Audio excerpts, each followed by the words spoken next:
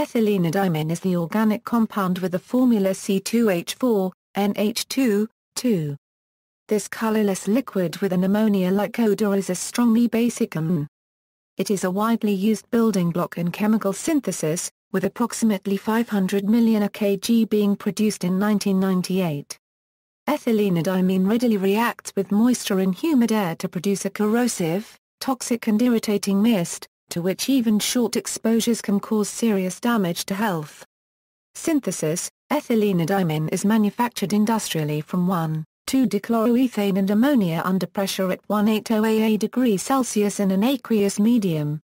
In this reaction hydrogen chloride is generated, which forms a salt with the amine.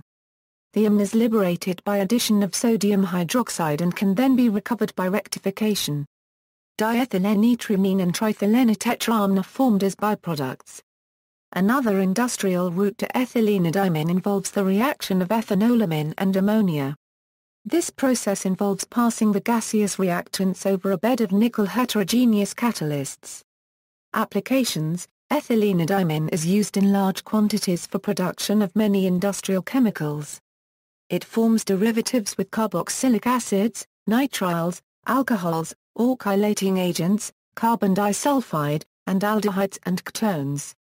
Because of its bifunctional nature, having two amines, it readily forms heterocycles such as imidazolidines.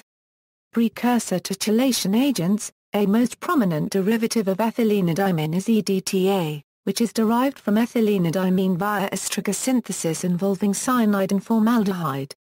Hydroxyethylethylenediamine is another commercially significant chelating agent, precursor to pharmaceuticals and agrochemicals. Numerous bioactive compounds contain the NCH2-CH2N linkage, including aminophylline and some antihistamines. Salts of ethylene bister the Okabama TE are commercially significant fungicides under the brand names Maneb, Mancozeb, Zineb, and Metiram. Some imidazoline-containing fungicides are derived from ethylenediamine.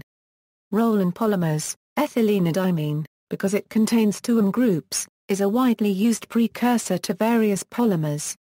Condensates derived from formaldehyde are plasticizers. It is widely used in the production of polyurethane fibers. The PAMAM class of dendrimers are derived from ethylenediamine. Tetraacetylethylenediamine, the bleaching activator tetraacetylethylenediamine is generated from ethylenediamine. The derivative N, stearamide, is a commercially significant mold release agent and a surfactant in gasoline and motor oil. Other applications, as a solvent, it is miscible with polar solvents and is used to solubilize proteins such as albumins and casein.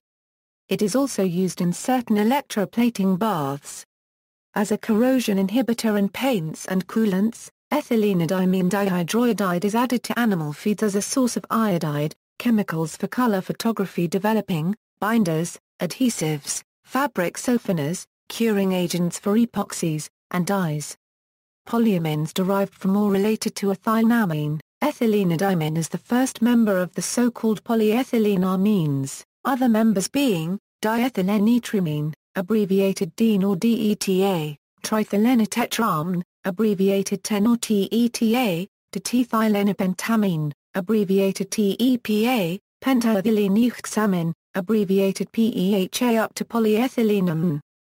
Similarly piperazine is an analog of dioxin. Related derivatives of ethylenediamine include tetramethylethylenediamine, 2-NCH2CH2N, CH3, 2 and tetraethylethylenediamine 2-NCH2CH2N, C2H5, 2.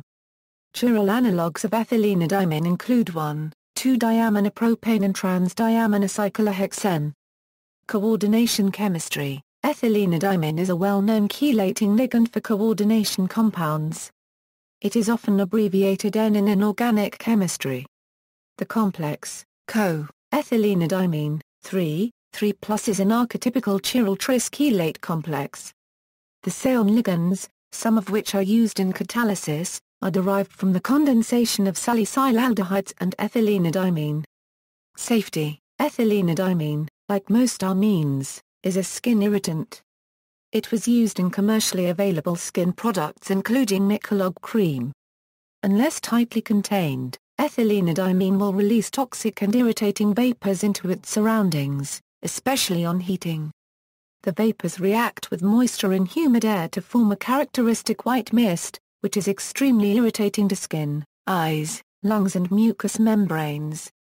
Exposure to a relatively small amount of vapor or mist by inhalation can seriously damage health and may even result in death.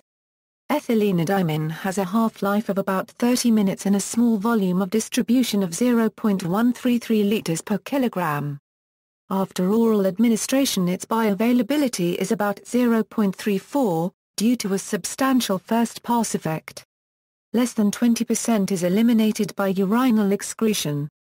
References External links, IRIS EPA ethylenediamine, CDC, NIOSH Pocket Guide to Chemical Hazards, Chemical Data.